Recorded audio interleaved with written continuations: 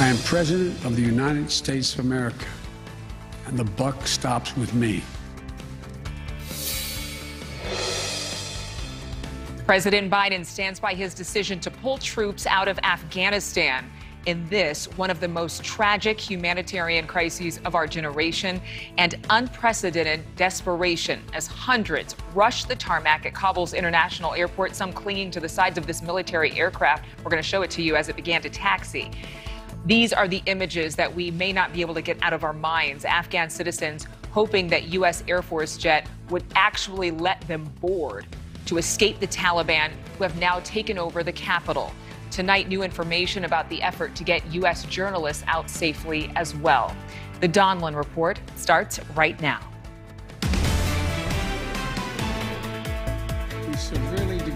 Qaeda in Afghanistan. Our mission in Afghanistan was never supposed to have been nation building. Our only vital national interest in Afghanistan remains today what it has always been preventing a terrorist attack on America's homeland. I stand squarely behind my decision.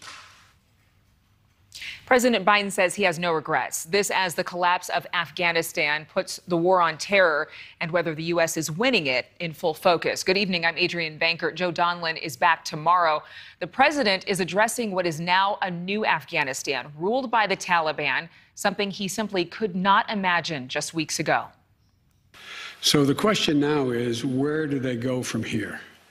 That the jury is still out. But the likelihood there's going to be the Taliban overrunning everything and owning the whole country is highly unlikely. In just a couple of hours from now, the sun will rise on another day in Kabul. Those who remain in their homes in shock and fear, greeted by uncertainty and potential terror on the ground. Today, we woke up to this video of hundreds of people swarming the international airport to try desperately to get out of the country. Afghans running alongside a U.S. Air Force plane, some trying to cling on for dear life as it takes off.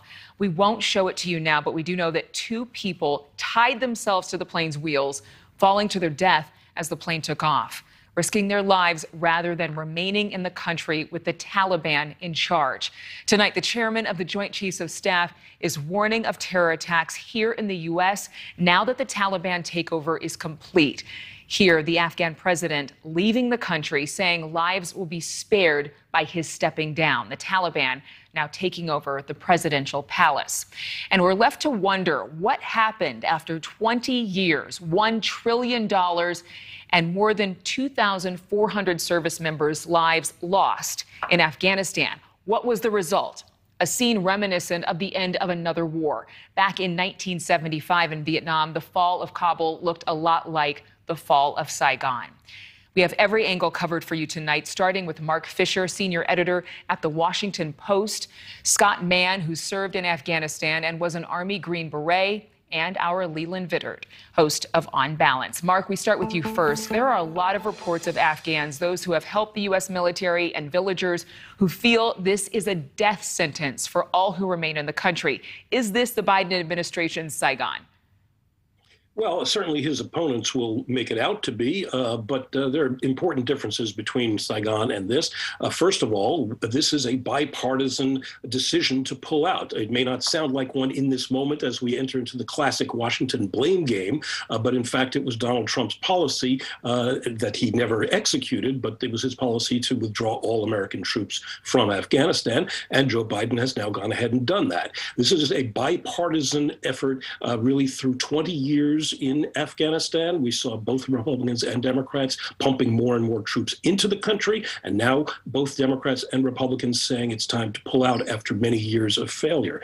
Uh, and so, uh, you know, there will be a lot of politics over the coming days and weeks. But in the end, uh, Biden is doing what the great majority of Americans have been clamoring for for many years, which is getting out you know, you hear a lot of the outcry, but I have to say, is there an argument that this is the best solution to pull out?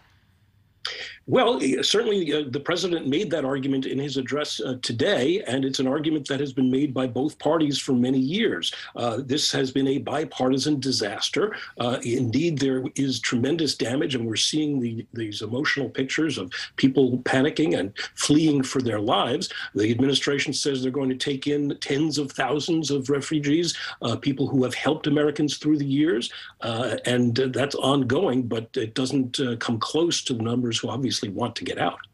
The White House is being asked now to protect journalists from the New York Times, the Washington Post, others in Kabul, hundreds of people. Have you heard from journalists there? Are, are you aware that they're in imminent danger, or, or what have you heard It was the latest on the ground?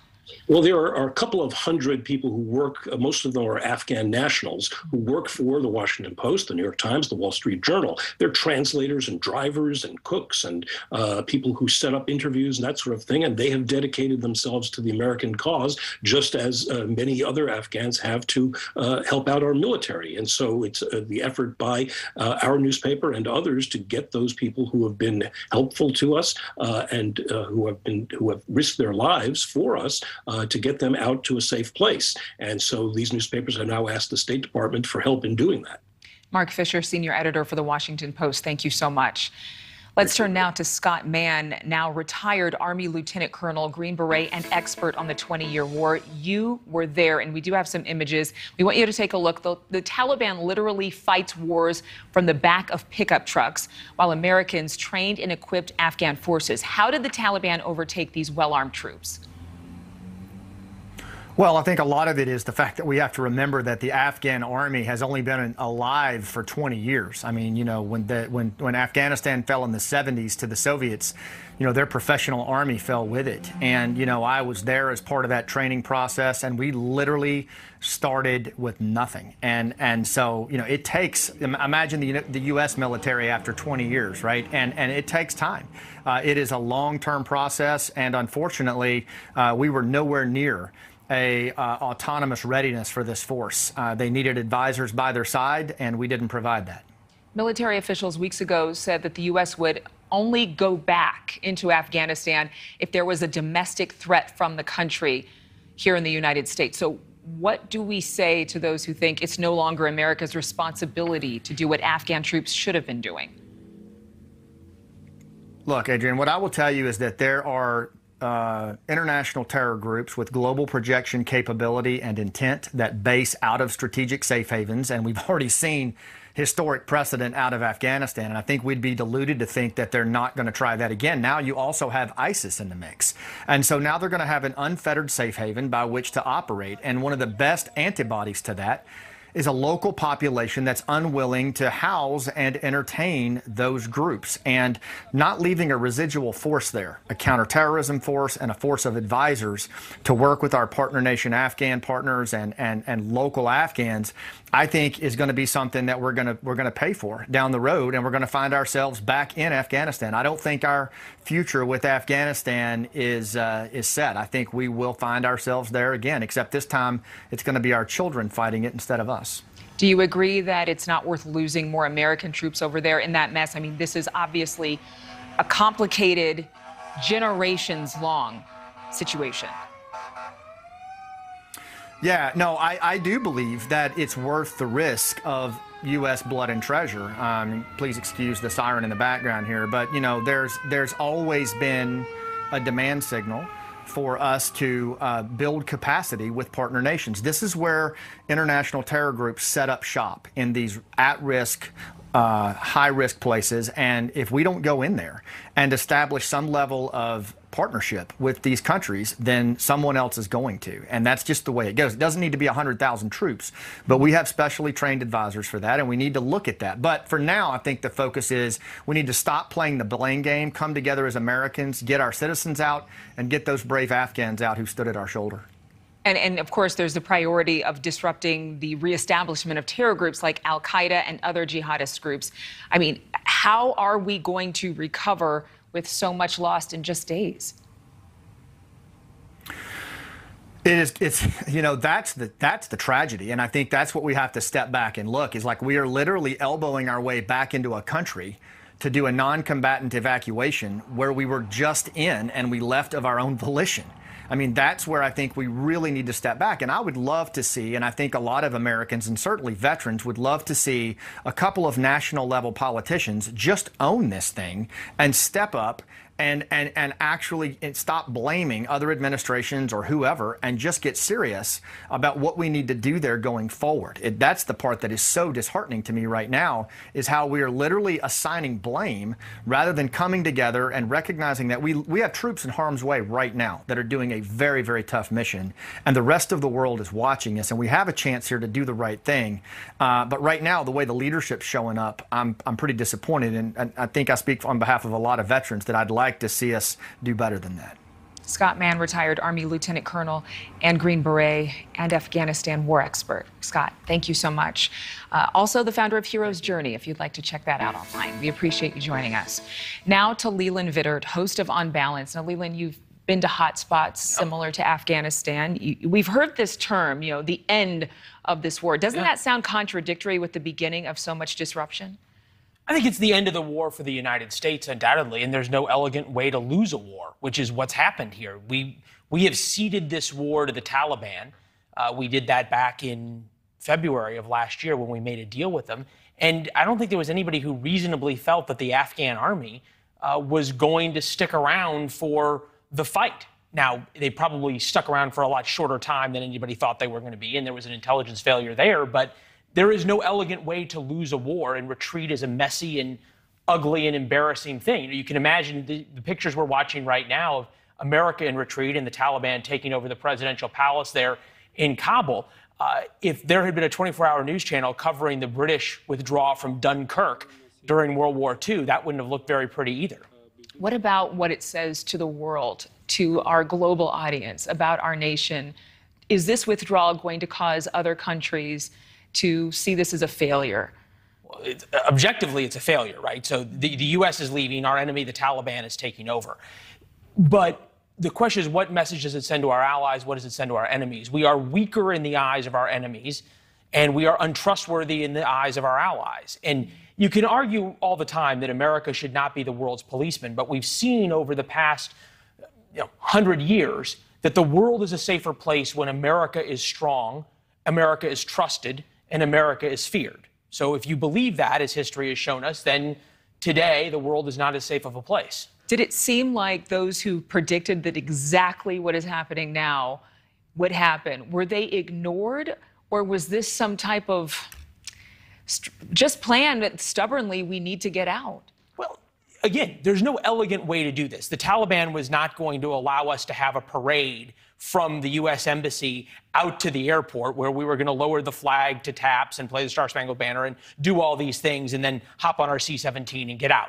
Uh, these are medieval terrorist thugs that we are fighting against. Though who negotiated with the U.S. Who, who, did, and and we we negotiated and we made a deal with them. And frankly, they've so far have kept their end of the deal. There's a reason, and this is sort of what's going unsaid, perhaps, for all of the horribleness and em- embarrassment of these pictures, there's not fighting in Kabul right now. There's 6,000 troops in harm's way, but they're not fighting their way into the airport. And as far as we hope, they're not going to fight their way out because the Taliban realizes that if they fire a shot, that brings the U.S. back into the war. And they're more than happy to enjoy their time on television right now, let the U.S. leave, let our allies and friends leave, and then they'll go about their medieval repression. Well, they certainly do like to do some interviews because that's what's happening right well, now. Well, for a while, we heard from the Taliban a lot more than we heard from the president over the weekend. Yeah, you've got a good point there. Leland Vittert on balance on tonight. Thank you so much. A reminder the show airs right after our program on News Nation, 8 p.m. Eastern, 7 p.m. Central Time. Stay tuned. The shocking images from Afghanistan, as we've been saying, a lot of people say it, the longest war, America's longest war, coming to an end fears of a terrorist state rise from Kabul?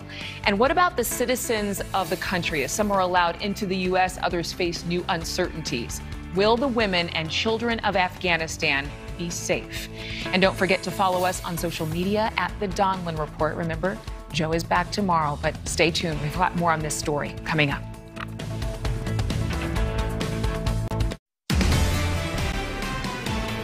With the Taliban taking over Afghanistan, thousands of Afghans are trying to flee the country. The U.S. has just announced plans to house up to 30,000 of, of those refugees in military bases here on U.S. soil. And joining me now with more, News Nation's Joe Khalil. Joe, who are the people coming over who are seeking sanctuary here in the U.S.? And perhaps what did they do in Afghanistan? Are they prioritizing those who served U.S. military forces? So, Adrian, you hear a lot about translators, and there certainly are a lot of Afghan translators that work with uh, the U.S., but these are basically anybody in Afghanistan who risked their own lives working in some way with American forces on the ground there to fight against the Taliban. So, I, I personally met uh, engineers from Afghanistan who were working with the U.S. Army Corps of Engineers, for example, uh, to put together infrastructure to try to help them uh, in terms of their weapons delivery to fight against the Taliban. Now, again, if the Taliban finds out who these people are during that time, time or after, their lives are at risk, their families' lives are at risk.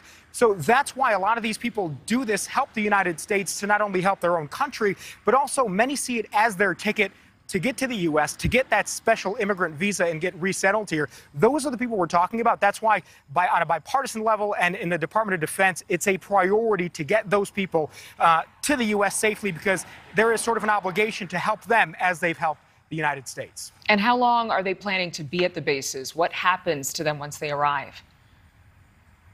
So we know that they come to bases like this, like Fort Lee here in Virginia. Uh, we've also got uh, Fort McCoy in Wisconsin, Fort Bliss in Texas.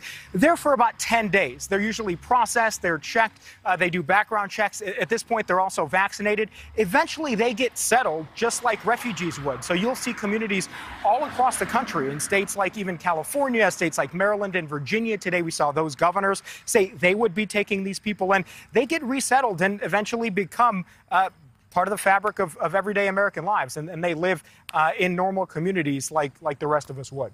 Joe Khalil, thank you so much for your reporting. Among the fears of those living, uh, rather leaving uh, Afghanistan, how Taliban rule will affect women in the country is of major concern. Women have come a long way over the past 20 years, and now there is a anxiety over how much of the progress could be reversed. Here's Farzana Kochai, a member of the Afghan parliament, speaking today. For sure, I'm afraid of myself, my life, and my my freedom to work and my freedom to speak up these are the things that I'm afraid, afraid of losing them. Joining us now, News Nation's Ashleigh Banfield, host of Banfield. Ashleigh, Afghanistan has come such a long way in terms of women's rights since 20 years ago. The Afghan constitution now allowing them to vote, millions have gone to school, but does this overthrow mean that all of those strides will be reversed? I feel like, Adrian, this is the $64,000 question for half the population. Here's the deal if it's the Taliban from 20 years ago, you can expect a pretty ruthless life if you're a woman. You cannot leave the house unless you're covered in one of these. This is a burqa that I bought in Jalalabad in the market in Afghanistan. It's an authentic one. Um, if I put my hand under it, Adrian, take a look. That's as good as you can see. That's it. You are literally a ghost. The uh, pedestrian deaths among women who wear burqas far outweigh the men because you can't see and you can't be seen. And that's the whole point. Women have to stay inside. They can't leave unless they have a male escort who is related to them. They cannot go to school. That's the 20 years ago Taliban. There is lots of talk that they are a newer, fresher, sort of more diplomatic Taliban that wants world recognition. They were cowboys back then. Now they're more mature. Does that mean that they're going to do something? Anything, anything to allow women more rights than they had when they ruled back in 2001. That's the thing that remains to be seen. But today, Adrian, they were going door to door and scrubbing all images of women outside of beauty parlors, like those, you know, billboards outside uh, of, a, of a, um, a business to advertise. If it was a woman whose face was showing, they were either scraping it off or painting over it. So there's just just genuine terror among women as to what the future, you know, has in store for them. And I dare say Kabul will be different than out in the hinterland because it's very tribal out there. And no matter what the government or the Taliban says, a lot of those original, very conservative rules will apply. Yeah, those villagers are going to live a, a, strictly different life under the Taliban's form of Islam as compared to Kabul. And we heard from Farzana Kochai, but are we hearing from other women in Afghan parliament or other Afghani women who are responding to this takeover? And, and, and what are their major fears? So it's, you know, we're all of what, 24 hours into this. So women who were um, in a position of power are terrified for their lives because that is absolutely verboten. So many of them don't know. They're not in negotiations with the Taliban. I witnessed a colleague of mine from CNN being told to step aside as she was trying to interview Talib men um, outside of the U.S. embassy there. She was head to toe dressed in niqab, which is black covering. It wasn't the burqa, which is this. And I always want to tell people not everything is a burqa. This is a burqa. When you see someone dressed like a blue ghost, it's a burqa. If you have hijab or head covering or niqab, that's different. And so there was Clarissa Ward dressed in head to toe, head to toe respectful Islamic garb being told to step aside as they spoke with her male crew members. So that's kind of just the law of the sidewalk right now. And if you're a member of parliament, you're probably gone. You probably shouldn't be there, male or female. And whether there will be female members of parliament, I am willing to bet everything I own that is not going to happen. I just hope they can go to school past age seven. Mm. Yeah, I watched actually an interview earlier today. Some members of the Taliban. It's eerie seeing them say, "Oh, you know, they'll be able to go to school. Oh, we're for peace and women have their rights." But we've seen that there is a distinct difference between the rights of women and the rights of men. But there have been humanitarian mm. groups and women's groups in Afghanistan. What are those groups and other nations who have had humanitarian responses there saying or doing at this time? So the Russians and the Chinese still have embassies open. They're not rushing for the border. They're not rushing for the C 17s. They're still there. I don't suspect that the Russians or the Chinese give a hoot about what the Taliban is doing with its women. They've got their own issues with, uh, you know, human rights. But I can say this the current situation will unfold fairly quickly. The Taliban is not wishy washy. They make things known. And this is going to sound awful. And if you're watching right now, please don't shoot the messenger. But there is one good thing about the Taliban, and it's a great thing. They restore order where there is none. That country was at civil war for 26 years when I arrived in gosh, it was uh, November of 2001. And it was absolute calamity when they got there, but they restored order. They did it in a brutal way, and they subjugated 50% of the people to do so, but it was calm and it was safe. It was safe to be there the women I talked to when I asked about wearing the burqa and being shrouded and being, you know, housed inside. And by the way, I had to be inside as well. I had to stay with women when I was housing in Afghan households. I wasn't with the military. I wasn't one. Of, I was a unilateral. I wasn't an embed. Um, they said you know, we feel safer with the burqa on because when we walk around outside, if we're allowed to be outside, nobody knows if we're a pretty young girl or an old lady. And that makes us feel safe. And wow. that's just such an incredible statement to hear. And you know what, Adrian? It's just like November of 2001 right now. Well, that is terrifying on many levels. And it's obviously a different lens that they look through as opposed to how we are seeing the story play out on television. Ashleigh, thank you so much. We appreciate you coming on. You can catch more of Ashleigh tonight on Banfield, 10 p.m. Eastern, 9 Central, here on News Nation. What kind of impact will Afghanistan's fall have on the war against terror? Not a good one, says former National Security Advisor H.R. McMaster. How bad will things get? That conversation next. No, thank you. I appreciate that. Uh,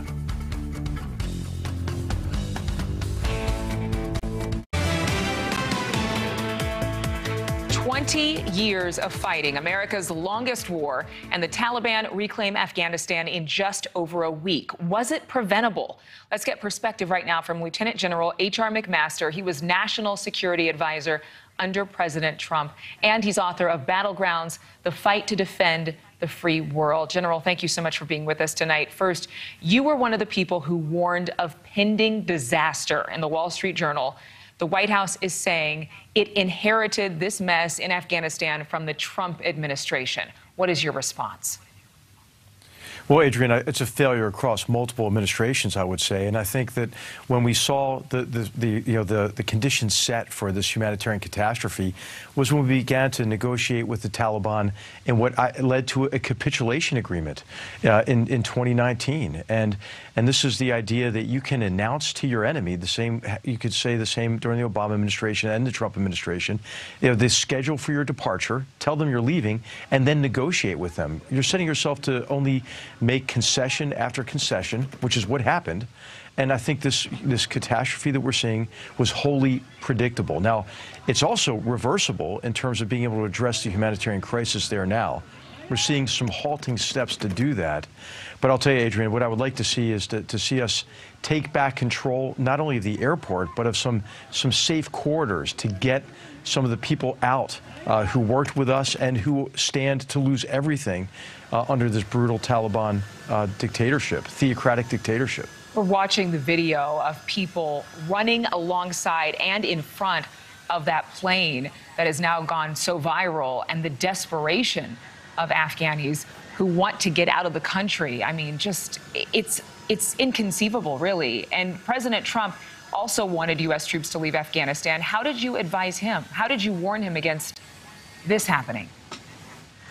Well, you know, that was that was President Trump's predilection, right? Was to get out of Afghanistan. And my job as National Security Advisor was to give him multiple options. And so what we did is we began with that option. This is what it looks like if we pull out of Afghanistan precipitously. And this was all predictable. And that's when President Trump approved the South Asia strategy that he announced in a speech in August of 20, uh, 2017. And I'll tell you, Adrian, I think this was the first, really, the, I mean, the only time when we have had a reasoned and sustainable approach uh, in place for Afghanistan. And sadly, you know, the Trump administration abandoned that strategy, engaged in, in these futile you know, negotiations uh, with, uh, with this terrorist organization, and, and, then, and then the Biden administration doubled down on that flawed approach to the war. What's so sad about this, Adrian, is that we had a sustainable level of commitment there. I don't, who knows what the number would have been? You know, 8,500, 3,500. It doesn't really matter. What matters is we were enabling the Afghans to take the brunt of the fight and to prevent what you see happening today from happening, and to allow Afghans to continue to enjoy the freedoms that they've enjoyed since we defeated the Taliban and threw them out of control out of government in Afghanistan in 2001. But the amount of money spent on, and the amount of resources given to train, and it seemed to all be upended in what seems like days. Were you surprised by how quickly this country dissolved? No, I wasn't, because, Adrian, we delivered psychological blows to the Afghan security forces and the Afghan government that went far beyond what the Taliban was capable of delivering physically. And that's by telling them that, you know, that we're leaving. That's by forcing the Afghan government to release 5,000 of some of the most heinous people on earth. And then what happens is the Taliban then gain psychological strength. As you saw, you know, they, in some places they negotiated surrender. And when they take over territory and they take over populations, they just say to the to the people, "Hey, if if your if your son, you know, if your if your husband, if your father serves in the Afghan security forces, we will kill all of you." And so it, it was a psychological collapse more than it was even a physical collapse. And the context that this story lives in. I mean, we have a lens that we look through as Americans that would prevent us from even understanding the complex situation in Afghanistan, let alone the Middle East. Uh, the Afghan president actually fleeing, there are reports of him with money and cars, and he just posted a message saying the Taliban essentially have won, and now they're responsible uh, for ruling there. So, what is the chance that Afghanistan will not be a terrorist haven? It's it's about zero, Adrian. I mean, th- these groups are completely intertwined, right? We we engaged in this in self delusion. The, the, first that you're seeing now today uh, exposed is that the Taliban would share power. Okay, how's that working out? The second is maybe that, well, maybe the Taliban will impose a more benign form of Sharia in areas they control. We're seeing them line people up and commit mass murder uh, in the town squares. We're seeing them uh, repress women again, you know, forcing these marriages, so-called marriages, as as a cover for, for rape, you know, of 15-year-old girls. I mean, this is this is the this is the real Taliban, and then also the, the delusion that there's a bold line, you know, between the Taliban and other terrorist organizations. They are completely intertwined with and in some ways dependent on Al Qaeda and the Haqqani network. And these groups have been sponsored as well by the Pakistan's Inter Services Intelligence. And so we simplified it to, you know, just we're just only, you know, entering into this negotiation with the Taliban. And we actually deluded ourselves to the extent that we imagined the Taliban would be partners with us uh, in, in counterterrorism. It's, it's, it's, it would be laughable if it wasn't so sad and if it didn't have such profound uh, humanitarian consequences that we're seeing today. Well, it really does make you just shake your head at the screen because you're thinking about the fact that there were so many predictions, so many people saying this is what's going to happen if we pull out. And you mentioned terrorism. Now, here at home, domestically, the terror alert has been raised once again. What is the likelihood that there will be increased terror threats here in the United States? How feasible is that considering what the Taliban is doing in Afghanistan? It's, it's almost a certainty. And we know from recent experience, from the, the mass murder attacks of 9 11, we should remember the most devastating terrorist attacks in history, where nearly 3,000 innocents lost their lives, tens of thousands more were, were wounded and sickened by, by, the, by the after effects of, of that attack. And we should also learn from the complete withdrawal from Iraq, right, in, in, in, December 2011. That's when then Vice President Biden called up President Obama and said, Thank you for allowing me to end this goddamn war. Now, think about how ill informed that is. The idea that that wars end when one party disengages, as if then in, in Al Qaeda in Iraq and now today Al Qaeda in, in Afghanistan, uh, they look around and say, well, the Americans are gone. I guess we'll just stop. This is all misframed, Adrian, and we keep talking about our desire, you know, to end endless wars. But but what if it's an endless jihad that these terrorists are waging against us? That means that we have to remain engaged against these enemies of all civilized people. I mean, Afghanistan, Adrian, is a modern day frontier between barbarism and civilization. And what we're seeing today are, are the enemies of, of, all humanity gaining strength, mm. gaining power. And this is as much a victory for Al Qaeda as it is for the Taliban. Do you see another adversary stepping into the country, possibly China, Russia? I, I, I, don't think so. I think what they'll do is just try to try to contain the problem there, you know. But but and because they have really, you know, no humanitarian uh, drive uh, to, to, their, to their policies. But of course, we know that problems that, that, that emanate you know, from that part of the world become much more dangerous once they reach our shores and other shores. So what you're going to see next is a massive refugee crisis uh, that's going to affect countries in the region, in Central Asia, and then Pakistan uh, will become even, even more destabilized. Pakistan is a particularly dangerous place because it's a country that has nuclear weapons, and it's also a place that gives really access to narcotics trafficking in a way that can enrich these jihadist terrorist groups and make them even more potent and more dangerous. There are over 20 U.S. designated terrorist organizations in the Afghanistan Pakistan border area, and they already want to commit mass murder uh, against us and our, and our interests and our allies abroad. You said this is reversible. Can you quickly say what you would do to reverse the situation? Well, the humanitarian catastrophe is reversible. I mean, I, I, can't imagine that anybody, I can't imagine anybody thought it was a good idea to give up control of airports. So what you need is you need safe zones so that you can help those who are fleeing these murders uh, of the Taliban. You need safe corridors, and then you need means of evacuation we are not Ecuador, Adrian. Right. right. We have a military that, who can do that. We have forces that are trained specifically for that mission. for securing airfields, the areas around it, and then providing that kind of safe, safe passage. Yeah, safe And- enough and that people it- aren't jumping if- onto planes and hiding in the wells of tires or wheels, I mean, and, and Yeah. plummeting to their death. I, I apologize, we are out of time, but I so appreciate that you have come on here today with your expertise. Thank you again for being with us. Lieutenant General H.R. McMaster, former National Security Advisor for President Donald Trump and author, Battlegrounds, The Fight to Defend the Free World. Thank you again. America's longest war coming to an end, but the threat remains, as we've been discussing with you, as you just heard right there, as we approach the 20th anniversary of 9 11. Afghanistan will once again be in the hands of the Taliban.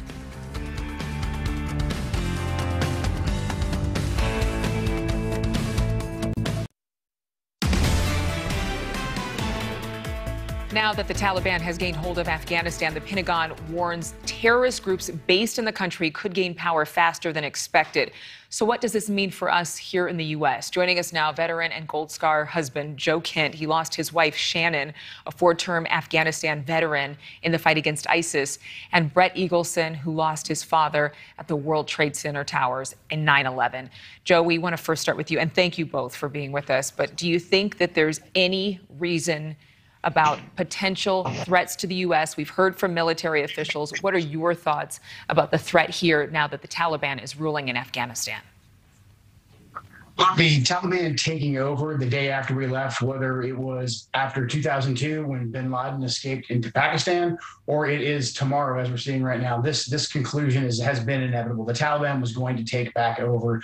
Our uh, desire to go over there and try to build a democracy and try to build these uh, armies out of Pashtun tribes and warring tribal factions, it's always been destined to fail. What we need to do right now is ensure that we have the ability to collect intelligence and then conduct strategic strikes. That's all we've ever needed from this region. Everything else has just been a payday for the military industrial complex, and it simply has not worked.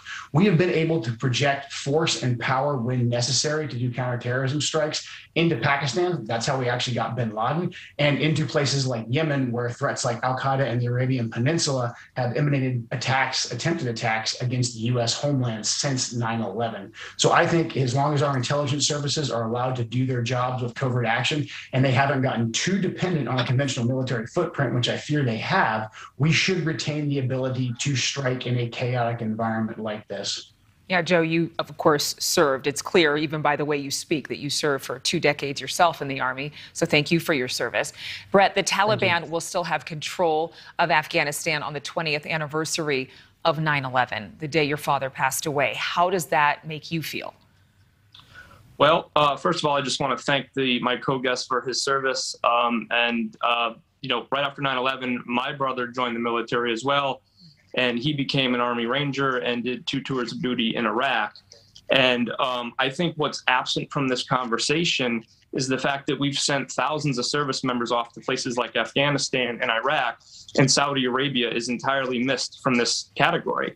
And um, the fact that the Taliban is now back in control 20 years later, we have two countries really that have never been held accountable for 9 11. We ousted the Taliban 20 years ago, but here we are back at square one. And the Saudi government involvement still continues to be protected and under state secrets by the United States government. So it, it's it's a sad day for all of our service members. It's a sad day for uh, the United States of America. Really, is because our government refuses to come clean about what led to the events of 9/11. And if you look at it, it was the Taliban harboring all the all the Al Qaeda terrorists. That's where Bin Laden trained his troops, and it was Saudi Arabia that provided the logistical and um, financial support network here in the United States prior to 9/11. Well, I, I'm, I'm glad you brought that up because I know that you are awaiting the Biden administration's answer about the documents releasing those crucial 9/11 documents, something you've been fighting for for years that actually would tie Saudi Arabian government to the attacks. But how do you think it will change the impact of the war on terror and what's happening right now? because it holds people accountable. It holds sovereign nations accountable. The Saudis can no longer get away with turning a blind eye to the bad elements within their uh, government. Same thing with the Taliban. If it's found that the Taliban is, is sponsoring and, and supporting radical jihadism, then the United States should have recourse against them.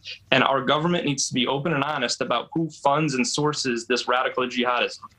Joe, I have to turn it over to you. We only have a couple of minutes, but I want to talk to you about the fact that while we're seeing these dire images on screen and we're seeing the collapse of a whole nation, there are a lot of families celebrating right now. Their soldier family members are coming back home. What would you have to say to all those families who are actually thankful that they get to see their loved one again? Say thank you for your service. I'm glad that their loved ones are returned to them. We need to get all of our soldiers out of harm's way in these places where we have no actual national security interest. Afghanistan, Iraq, and to a certain extent, Syria have been a failure of the establishment. They sold us a false bill of goods. We took our eye off the actual target, that was Al Qaeda, my co-guest is absolutely right. We need to hold these governments like Saudi Arabia accountable. We need to hold the Pakistanis accountable. It's a big reason why I'm running for Congress right now is to hold the failed establishment accountable. We don't need to fight these forever wars. The guest that was on previous, H.R. McMaster's, he has been part of the establishment that's been selling these lies that we have to go and prop up the Afghan military, the Iraqi military, when really we could save ourselves the blood and the treasure and just use diplomacy and limited counterterrorism strategies strikes to achieve our national security objectives. So that's what we need to demand from our elected officials. It's a big reason why I'm in the race right now. I want to get into Congress, get on the Armed Services Committee, and hold these generals and the military industrial complex accountable. All right, I'm going to just I'm, I'm going to probably just guess that your answer to this question would be yes into wishing we had withdrawn earlier. Joe, I only have time for you to answer with a one-word response. Yes. And Brett, same same with you? Hold, hold, I say hold the Saudis accountable. All right. Thank you to you both. We really appreciate it. Gold Star husband Joe Kent and 9 11 families advocate Brett Eagleson. Afghanistan has fallen to the Taliban. We've been saying it all hour, and we have so many stories that are coming out of Afghanistan. And DC, President Biden says he does not regret his decision, how 13 hours changed the shape of this nation.